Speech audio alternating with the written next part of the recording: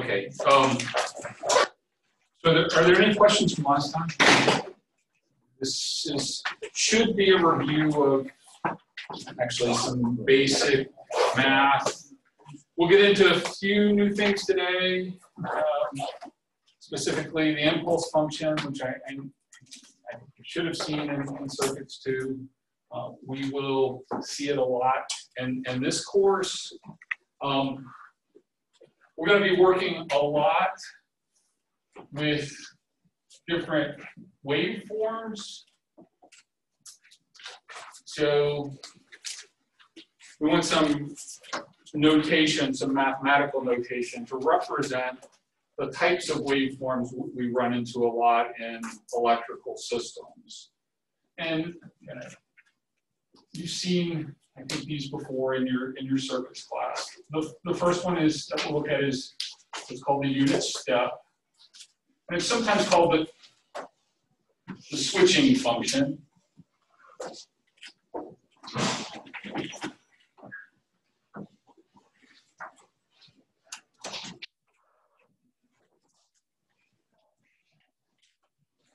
But you know, for example,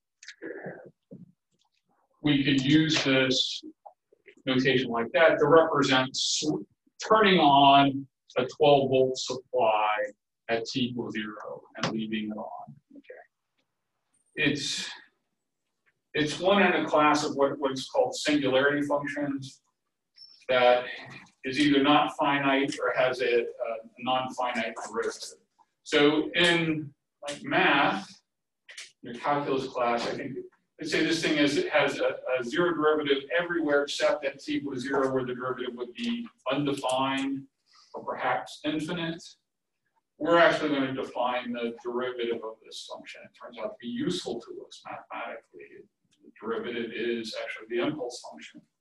Um, I'm gonna, we'll be doing several projects in Octave or MATLAB.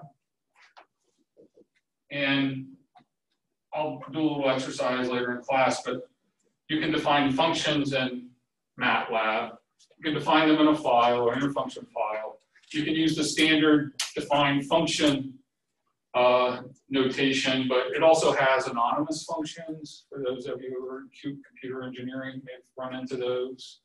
Um, and you can define, a, especially simple functions like this, just using that notation, we define the function u of t in, in MATLAB. Now, I'll, I'll do some plots here. We'll do some examples the, for the end of class where we'll play around with some of these functions and I'll show you how to how easy that is to do in, in MATLAB.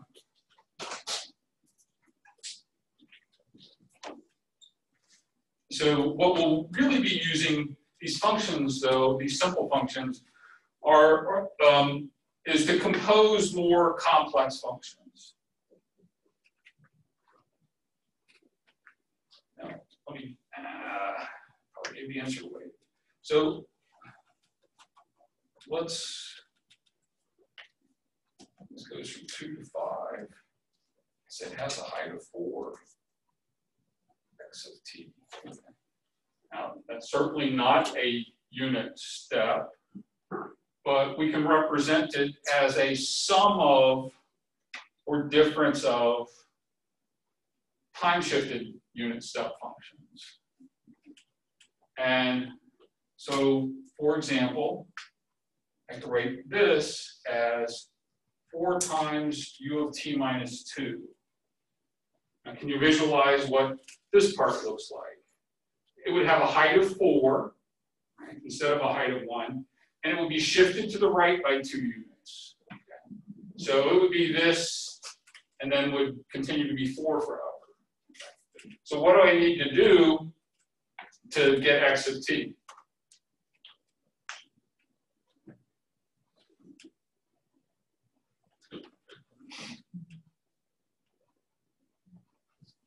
Subtract what?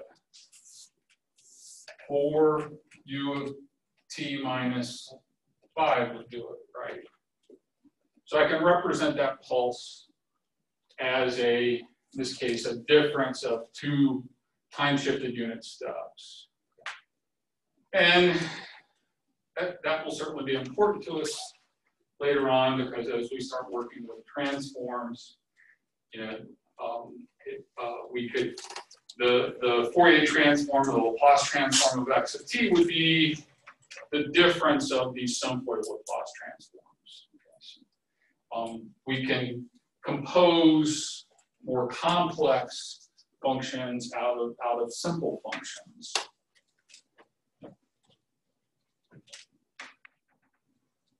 Unit ramp is not used nearly as often as the unit step. Doesn't occur. Let me just go ahead and define it. But this is a unit ramp. And at one, it has a height of one. At two, it has a height of two. It actually has, for t greater than zero, I can take the derivative of that, the derivative is one. So it has a slope of one for t greater than zero. But if I multiply it by 10, it would have a slope of 10. Um, in Octave MATLAB, we can generate this function as t dot times u of t. And this is one of the other purposes of that unit step. It's, it's a switching function to turn some other function on or off or, or to zero it out for all t less than t less than zero. So I'll give you a few seconds to say we've got this, two, four, let's say it has a height of eight.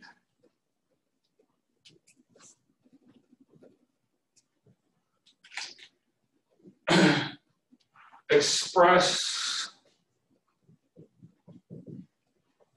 x of t as a sum or difference of amplitude scaled and time shifted ramps and or steps, unit step functions.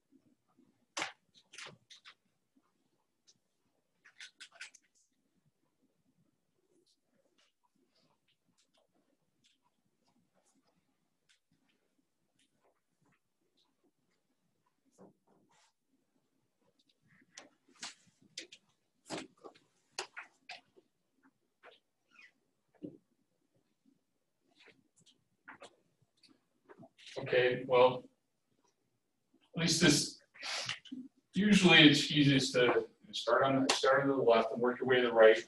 And we see that this, this first part is a shifted ramp that starts at t equal two. It doesn't have a slope of one though.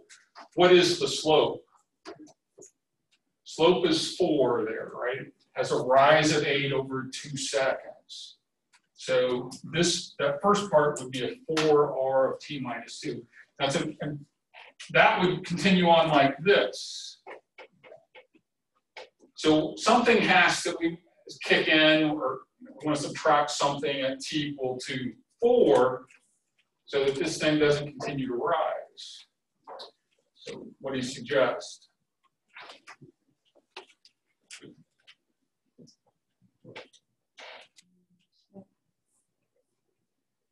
Unit step, we're going to have to get there eventually, but let's take care of the slope first. If, if I subtract, I could subtract 8, an 8 unit step, that would actually just drop it here and then it would continue like that. What, what we could do is, or this is the way, I'm saying this is necessarily the best, but just subtracting. So this function would be like this, right? You see the, the difference here is constant. So now when I subtract this one from that one, well, is this the final answer? No, because that subtraction would do this. We just level off there. Now is where, again, you could have subtracted the unit step first if you wanted to do that. Drop it down here, then subtract the ramp. That, that's perfectly fine. But what do I need to, is this right? U of t minus 4? Why is that not right? Because it's not one. Because it's not 1. What is it? 8. This has a height of 8, right? So I need to actually subtract 8 u of t minus 4. Okay. Um, you know, the, the goal here is to express it as a sum or difference of simpler functions. Sometimes you can express these as a product of simpler functions, but we almost never want to do that. For example, u of minus t is going to be, you know, one for all negative time. A shifted time reverse function, know, I can shift this thing so it actually is, is zero for t greater than five, multiply that by this and still get this function as a product. We don't want to do that because we're going to be working with Fourier transforms or Laplace transforms, which are linear, which have this property that the transform of a sum is the sum of the transforms. Unfortunately, the transform of a product is not the product of the transforms. Okay, so that's, we want to stay away from, it actually becomes convolution. Okay, so we want to try and write these more complex functions as a sum of, of simpler functions. So, so that's the goal. Um, the, the ramp is actually related to the unit step. Now, this is, I'll often call this the integral of a function. This, this would be the output of a, of a circuit that we call an integrator. And it's the upper limit here that's a function of time. And so, you know, where does that come about? If you think about integrating this, you know, um, out to t, you know, for t less than zero, the integral of u of t is zero. For t greater than zero, you know, if I integrate now from minus infinity out to say t equal one, I'll get one times one. If I integrate out to t equal to two, I'll get one times two, or two. If I integrate out to t equal three, I'll get three. So for t greater than zero, that integral is equal to t. For t less than zero, I get zero. Well, that's the definition of my unit ramp. So I'll often, we'll often call this integration, where the upper limit is, sometimes it's called a running integral, where the upper limit actually varies with time. This is a function of time through the, the variation in that upper limit on, on the integral. So it's, it's a little bit different than maybe the integral you run into when in calculus. And it is also true that the unit step is equal to the derivative of the ramp. For t less than zero, it's equal to zero. For t greater than zero, the derivative of t is one. Um, another type of signal we'll be working with a lot is, is pulses, pulses of voltage or pulses of current. So we, we use a, a function, it's the rectangular function or the rect function, R-E-C-T. It's defined as zero for t great, absolute value of t greater than one half. It's equal to one when the absolute value of t is less than one half. It looks like this. Minus one half, one half has a height of one. This is rect of t. The width is one. But through amplitude scaling and time scaling, compression or expansion, we can get pulses of any width and any height. This is rect of t, sorry. You can verify that A rect of t over capital T, for example, that's amplitude scaling multiplying by A. And this is actually expansion by T. So instead of having a width of one, rect of T over capital T would have a width of T, capital T. Which means it's non-zero between minus T over two and T over two.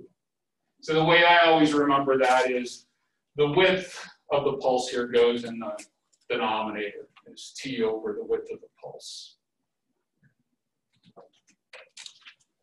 Um, we could also express rect of t as u of t plus a half. That would be a unit step shifted to the left by half minus u of t minus a half. So this rect notation is really just convenient. We could express express recs in terms of unit steps, but you know, we work with these pulses often enough. It's, it's nice to have this shorthand notation.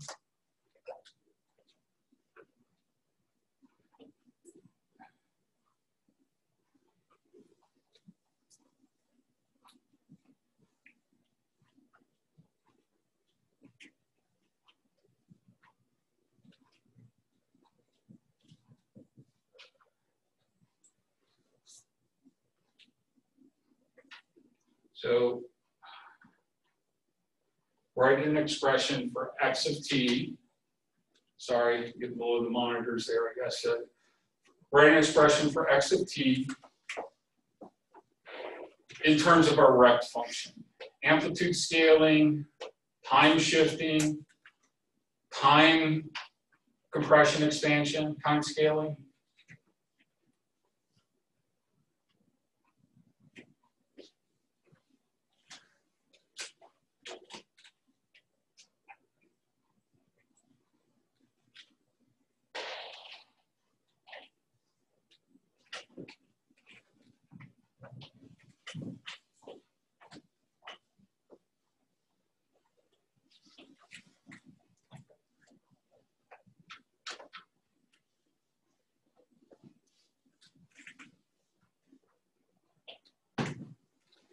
Well, the amplitude part is easy, right?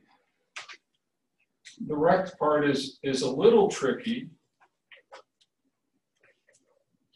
What's the width? That part's not too bad. What's the width of that pulse? Just two.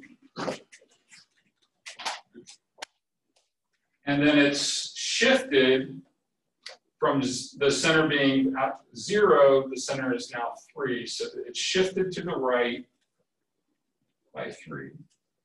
And you might want to plug in different values of, of t to, to see that that's correct. With, with t equal to four, for example, four minus three is one. We've got rect of one half, which is this edge, this trailing edge. So that edge maps to t equal four here. And similarly, you can see that the t equal minus one half in our fundamental, our basic rect function maps into x of two. Okay, so I want to play around with that to verify that that's the correct expression. Because uh, the other temptation is to write it's rect t over 2 minus 3 instead of t minus 3 over 2. But t over 2 minus 3 is not correct. Be t over 2 minus 3 halves. That would be correct. Um,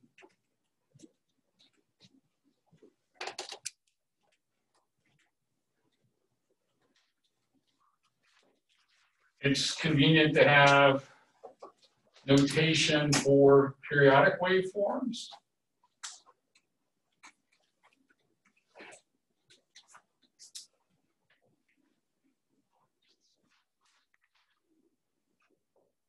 So let's say we've got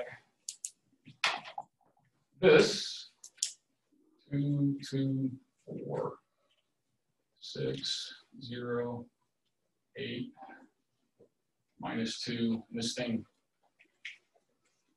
continues forever. It's a periodic function. What's the period of this function? So what?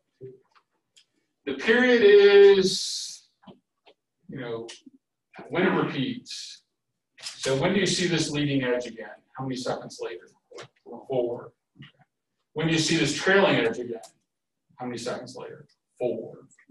So the, the you were giving me the duration, and that's it's easy to it's easy to confuse, confuse the duration of the pulse with the period. The duration is two. You'd say it actually has, in this case, a 50% duty cycle. But we can we can start with the what we call the, the base function, which is two rect of t minus 1 over 2. This pulse is just x1 of t. That pulse, just by itself, would be x1 of t. Okay. We can represent the whole waveform. I could then get this one as a shifted version of x1 of t, right? It would be x1 of t shifted by four seconds. This one would be x1 of t shifted by 8 seconds, the next one by 12, multiples of the period. Similarly, this one would be shifted to the right by 4 seconds. So I can express, express xt mathematically as a whole bunch, a sum of x1 of t functions all shifted by t, where n goes from minus infinity to infinity. When n is equal to minus 1, that's when I get that one. When n is equal to minus 2, I get that one. You could write it as minus nt, that would be fine. It's, just, it's the same expression. Matter of fact, that, that's actually how I have it written in my notes, where t is equal to 4 in this case it's a it's just a mathematical expression for writing a periodic function in terms of x1, which we call the, the, the basis function of the periodic expression of the periodic waveform. Any questions about that? All right, something a little more interesting is the impulse function often called the delta function, sometimes called the Dirac function, Paul Dirac, or the Dirac delta function. There's also an impulse function we'll, we'll deal, we'll talk about with discrete time systems um, discrete time waveforms. These are all continuous time waveforms. So uh, the impulse function, it's actually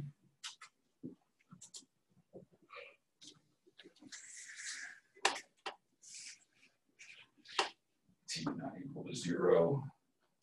It's defined like this in terms of its properties. This is how we'll define it. It's defined by two properties.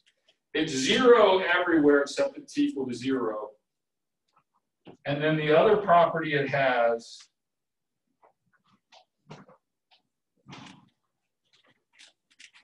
is it has unit area. So you, you can approximate it as, you know, really narrow pulse. Uh, let's say it has a height of A, so the width would be one over A, right? So that it has unit area. And then you approach an impulse as A becomes infinite. Okay. You have an infinitely tall pulse with zero width in that case. Okay, so you can, it's handy to think about an impulse. You know, we can't really generate this thing in the lab. It's, it's a mathematical construct. You can kind of, again, approximate it with a very short, high amplitude pulse. In mechanical systems, they, they um, um, can generate an impulsive force by striking a structure with a sledgehammer. That's, that's kind of a good model for mechanical systems. But it's, it's a short duration, high amplitude for mechanical systems, you know, applied force. For us, it would be like an applied voltage. Um, it's usually drawn this function of time. So it's drawn as an up arrow, you know, at its location. In this case, t equal to zero. And then there's a value shown next to it. That value is actually the area of the impulse. So it looks like the amplitude, you could call it the amplitude, and I won't correct you. But you know, if I had 10 delta t and, and carried out the integral of 10 delta t, I could pull out the 10 and, and the area of 10 delta t would be 10. So whatever little number here is written next to it is actually the area of the impulse. So, so it's a strange thing. Turns out to be really useful in control systems and system analysis. We're actually going to define delta t as being the derivative of that unit step. Know, our unit step had a zero derivative, you know, for t less than zero, zero, certainly the derivative there is zero. For t greater than zero, our unit step is equal to one, again, the derivative is zero. It was, it's only at, you know, in your calculus classes, you probably would say that the derivative of the unit step is undefined at t equals zero. Well, we're actually defining it in this class. We're saying the derivative of the unit step is the Dirac delta function. It has some special properties, which we'll get into. And then similarly, if you integrate this running integral,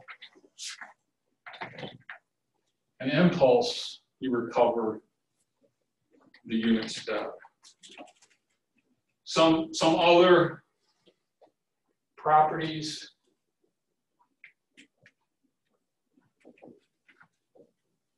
of the unit step. If you multiply, so this would be a shifted, I'm, I'm sorry, uh, the impulse function. This would be a shifted impulse, right? Delta, delta, so here's how I write delta 10 delta t minus 2. I represent that graphically.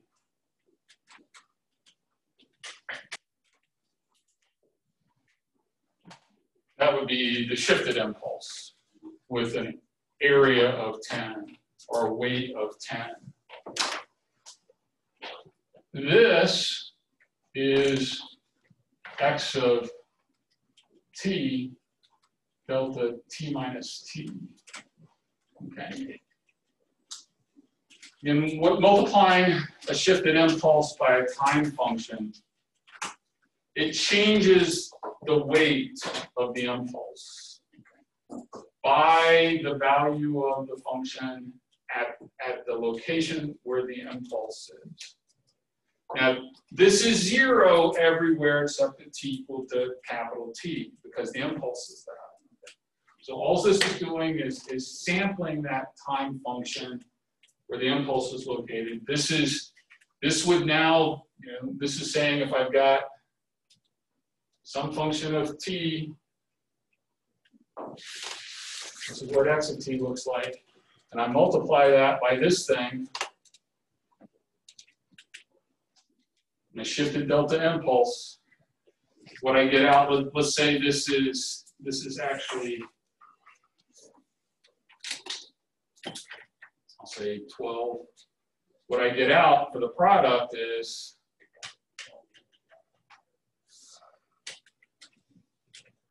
this. An impulse whose weight is um, the function value at the location of the impulse. So, and it's, it's zero everywhere else except where the impulse is located. So it's, it's a funny thing.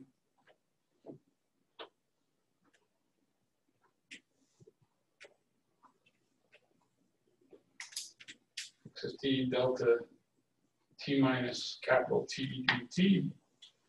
Now, this is actually a consequence of the definition and the previous property.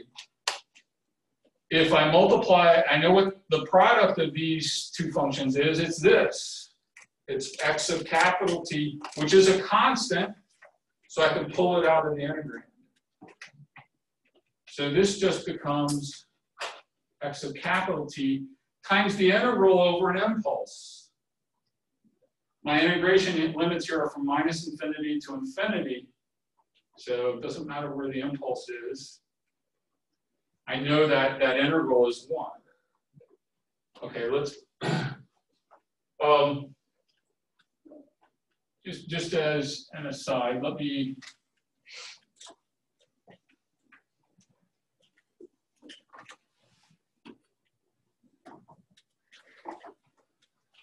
Am I integrating over the impulse there? Do the limits on my integration include uh, the location of the impulse? Yeah, the impulse is located at one, shifted from zero to one, and I'm integrating from minus two to two. So as long as my limits include, you know, if this were two delta t, it would be two.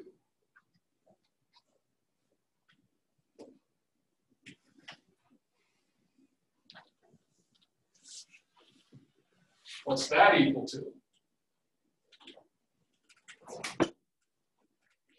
My impulse is located at one.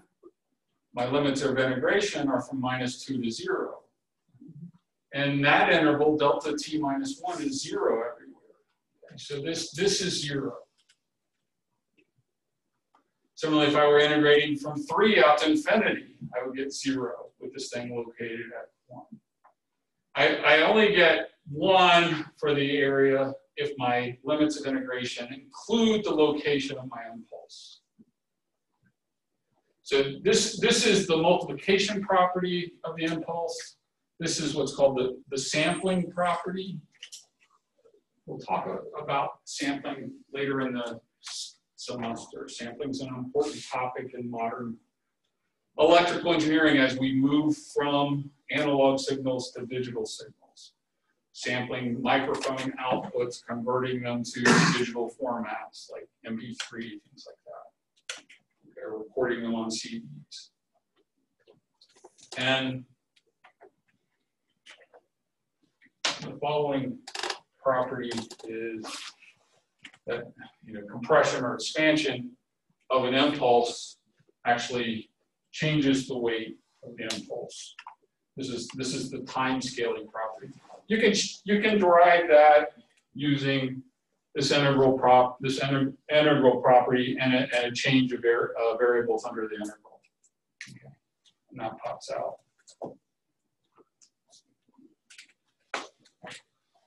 Okay. Um, I think you guys are familiar with exponential pulses. You know, th those are another basic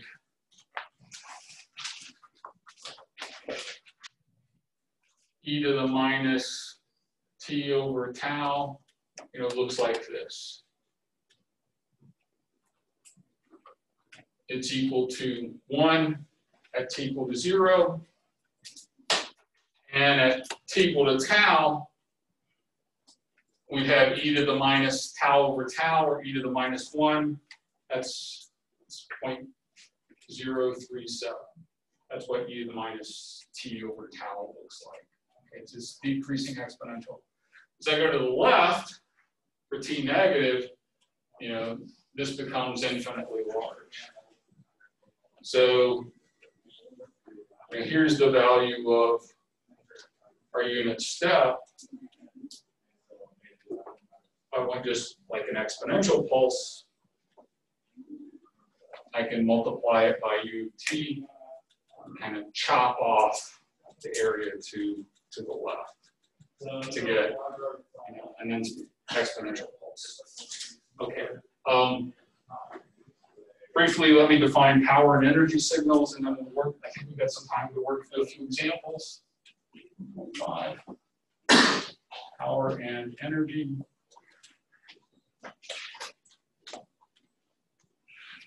So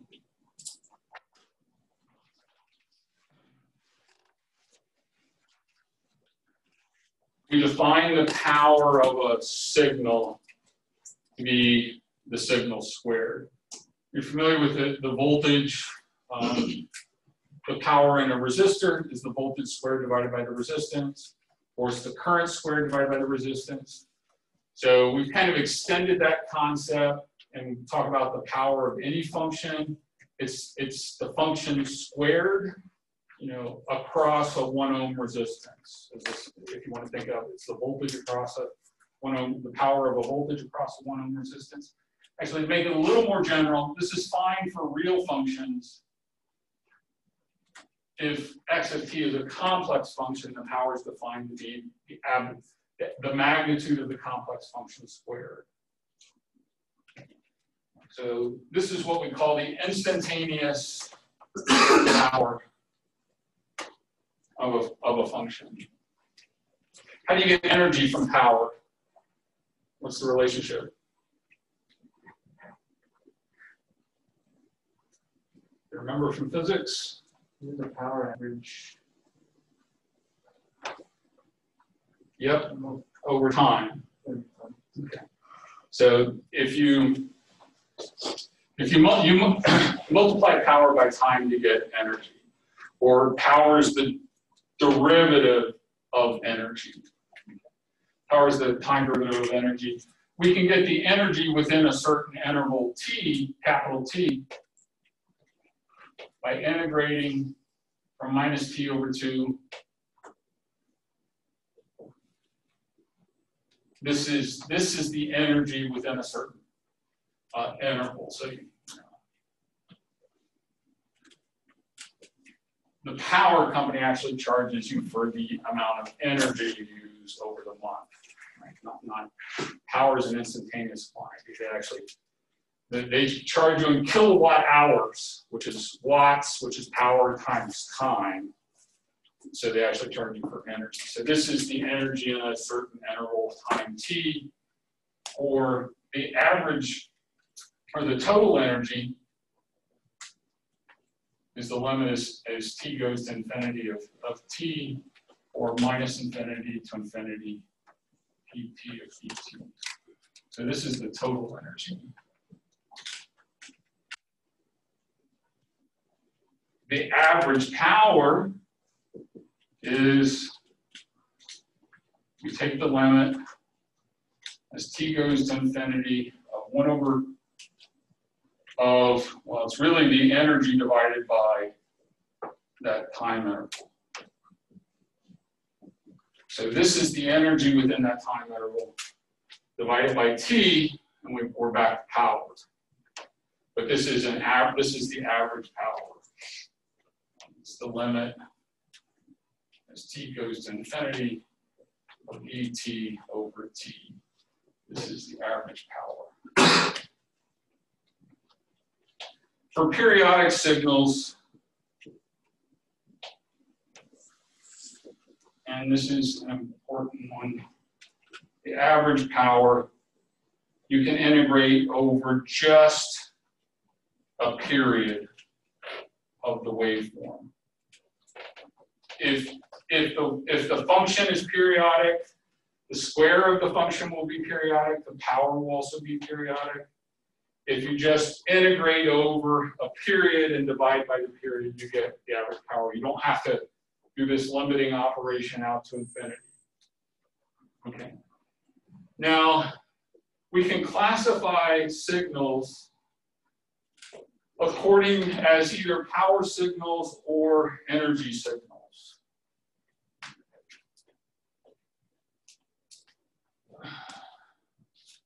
Most pulse type signals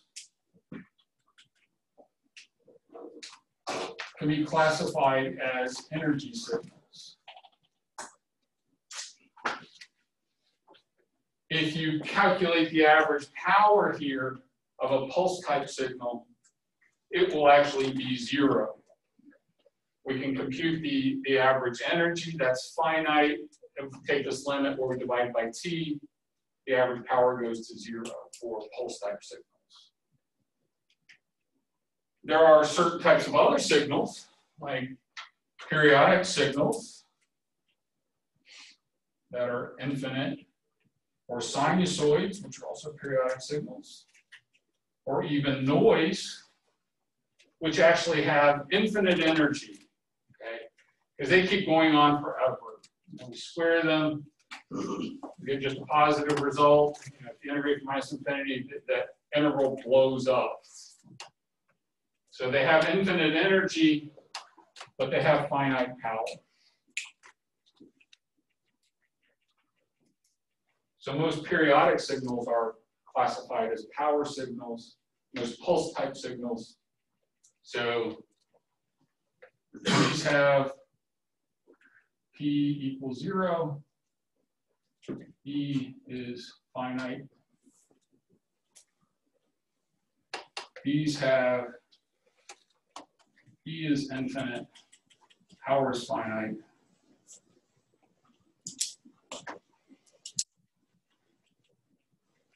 There are certain signals that actually have infinite power like a, like a, a periodic set of impulses. Okay, but most real signals we work with are either power signals or, or energy signals. Okay, let's, um, we've got five minutes. Let's do a couple of examples.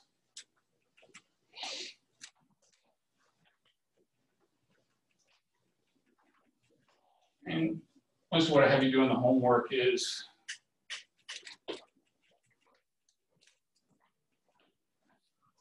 function composition.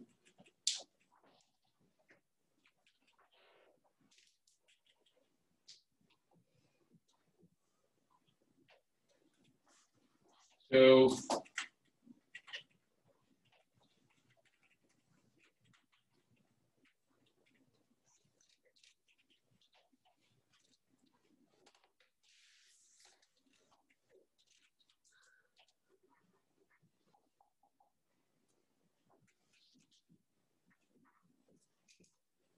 So express right x of t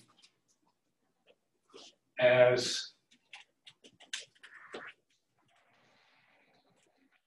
a sum of amplitude scaled and or time shifted unit steps.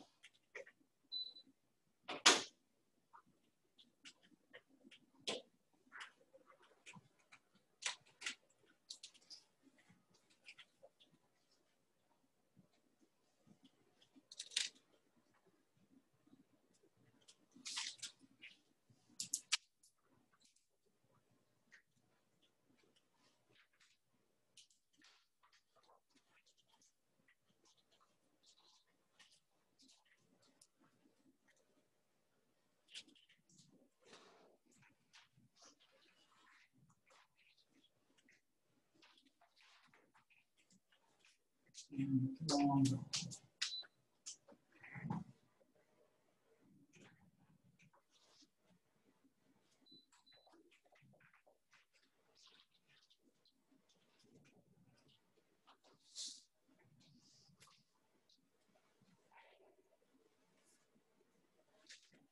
someone want to tell me what you got?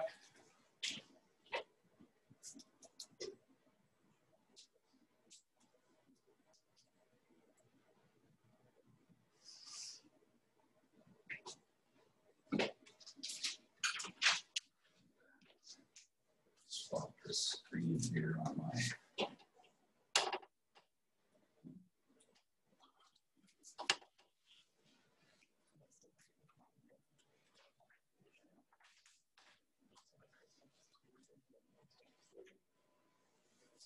Get? We'll go home if we finish this problem. Three U T minus Three U of what? T minus two. T minus two, minus three U T minus four. Minus three U, T minus four, plus six U T minus four. Okay, minus six U minus six, what? minus six U T minus six. Everyone agree with that?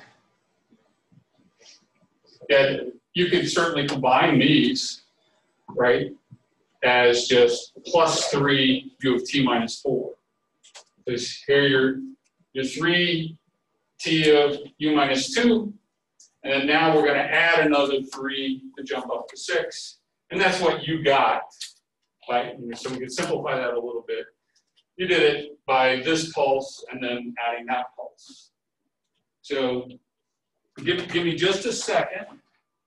I'll show you how easy this is to, I said we, I'm not gonna define a, a function file. I highly recommend that you actually put all this stuff into scripts. But I'll define that, that unit step function like this. Okay.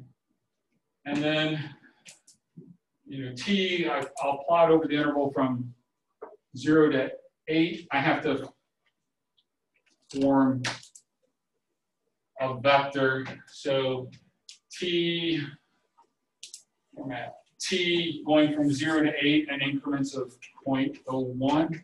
So this t vector is going to be about 800 elements long. Okay. And then now I just plot t, and then my function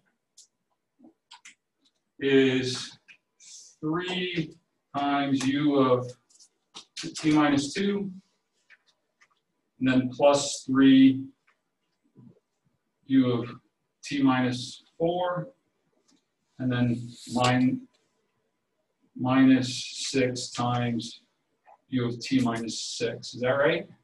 Or I could plot, you know, Amund's function with all four there.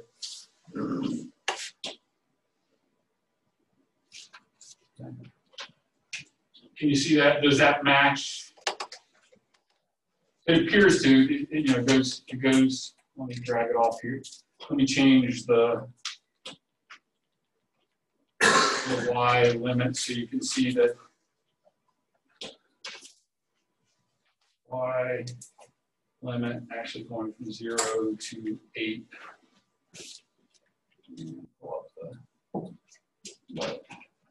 That's, that's our, that's our pulse. Goes from two to six is three, and then jumps up to six and back down. So it's just verifying our, our expression. It's really easy to do in just a couple of lines of MATLAB Octave on your calculator. Have a good weekend. It's been a long semester. Hang in there. We're almost through it.